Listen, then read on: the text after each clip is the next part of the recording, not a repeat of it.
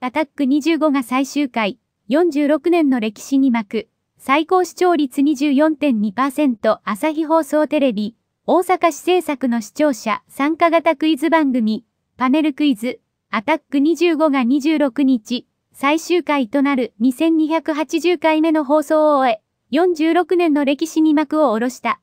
アタック25は1975年4月、俳優、小玉清さんの司会でスタート。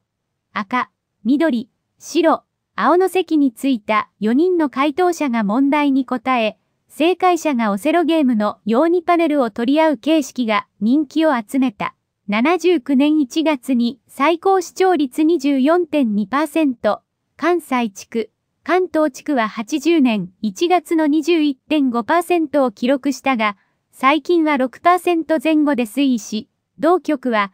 一定の役割を終えたとして終了を決めた。最終回はチャンピオン決定戦と目打ち、トップ賞の獲得経験者による選考会を通過した12人が集結。史上最強の称号を目指して七力を競った。最後に、三代目となる原始会社の俳優、矢原章介さんが、クイズを愛する皆さんの熱い思いは永遠ですと挨拶。重要な局面で拳を握りしめながら発するアタックチャンスの決め台詞で番組を締めくくった。